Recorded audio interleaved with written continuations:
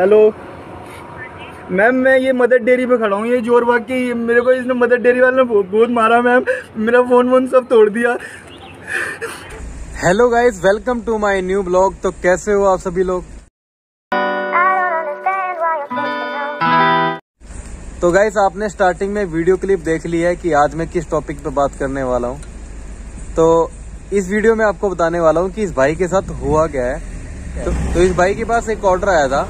वो ऑर्डर को पिक करने के लिए किसी दुकान पे गया, जिस दुकान से ऑर्डर आया था, वहाँ पे चला गया और वहाँ से सामान ले लिया है और वो बैग में डालने लग रहा था। तो इस भाई को दुकानदार ने आवाज़ लगाई कि भाई पैसे भी देने हैं। तो ये पलट के बेचारा वहाँ पे गया उसको पैसे देने के लिए। लेकिन दुकानदार ने करा क्या है? इस भाई को एक तो गाली बकी और ऊपर से इसको मारा भी है। इस भाई की ना तो उसके अंदर गलती थी। ठीक है। आजकल क्या कर दिया? स्विगी ने तो स्विगी के अंदर ना एक तो जीनी ऐड कर दी जीनी के अंदर होता क्या है, कोई भी कस्टमर ना कहीं से भी सामान मंगवा लेता है। कई कस्टमर पेमेंट कर देते हैं और कई कस्टमर पेमेंट नहीं करते। उसमें क्या होता है ऑर्डर की पेमेंट करनी पड़ती है, उसके बाद हमें सामान मिलता है। तो ऐसे ही इस भाई के साथ हुआ। इसने सामान तो ले लिया, उस सामान को बैग में रखने के लिए जा रहा था, तभी दुकानदार ने आवाज़ लगा ली। इसको पता नहीं था कि पेमेंट भी करनी होती है। तो पहली बार पता लगा होगा कि जीनी जीनी के अंदर ये भी दिक्कतें होती हैं। तो जो भी भाई नए स्विगी के अंदर लगते हैं तो भाई जीनी अगर आप ऐड कराते हो ना तो जीनी के अंदर ऐसे ऑर्डर आते हैं। पहले आपको कैश पेमेंट करनी पड़ती है, तब जाके आपको दुकानदार सामान पकड़ाता है। तो किसी के साथ अगर ऐसा होता है तो पहले अपने फ़ोन में देख लिया करो, अगर आपने जीनी ऐड करा रखी है। तो गाइस स्विगी के अंदर ना पिक एंड ड्रॉप भी ऐड कर दिया गया है। तो उसमें क्या होता है, उसमें आपको कस्टमर से सामान लेना है और दूसरे कस्टमर को सामान देना है। इसके अंदर ये होता है। स्विगी के अंदर काफ़ी चीज़ें ऐड कर दी गई हैं, काफ़ी राइडरों को नहीं पता।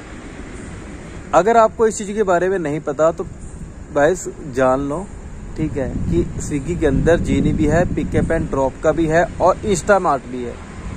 ये तीनों स्विगी ने ऐड कर रखे हैं।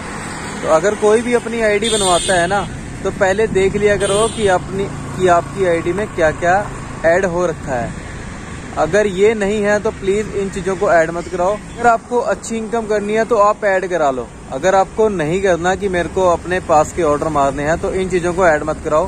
क्योंकि एक तो इसमें काफ़ी टाइम वेस्ट होता है और आपको दूर दूर जाना पड़ता है। तो अपने स्विगी वाले भाइयों को यही कहना चाहता हूँ कि अगर आप आईडी बनवाते हैं ना तो इन चीज़ों को देख लिया करो। अगर ऐड है तो इनको हटवा दो। अगर आपकी इच्छा कर रही है इन चीज़ों को ऐड कराने की तो करवा सकते हो। अगर नहीं कर रही तो इसको हटवा भी सकते हो, कोई ऐसी दिक्कत नहीं। वैसे इस भाई के साथ बहुत गलत किया है। ऐसे नहीं करना चाहिए यार, हर हर कोई किसी न किसी के पास काम कर रहा है। और ये दुकानदार भी किसी के पास काम कर रहा है। इसकी खुद की दुकान नहीं है ये। इसको भी देखना चाहिए कि मैं किसी किसी राइडर के साथ बदतमीजी से पेश आ रहा हूँ कि कल को कोई इसके साथ भी ऐसा हो सकता है। अब कौन करेगा इसके साथ में इज़्ज़त से बात? दुकानदार के साथ। सबके सामने तो इसने अपनी इज़्ज़त की धज्जियाँ उड़ा ली। ऐसे लोगों के साथ ऐसा ही होना चाहिए। इस स्विगी वाले भाई ने सही किया। इसकी कंप्लेंट की। अच्छी बात है भाई। हम तो हम ऐसे भाइयों के साथ में कोई दिक्कत नहीं है भाई। आपको वीडियो अच्छी लगी तो लाइक कर देना और अगर आप मेरे चैनल पर नए हैं तो प्लीज़ सब्सक्राइब कर देना और बेल आइकन की घंटी को प्रेस करना। तो आने वाली वीडियो की नोटिफिकेशन आपको मिल सके। तो मिलता हूँ मैं आपको फिर एक नए ब्लॉग के साथ। तब तक के लिए bye thank you for watching video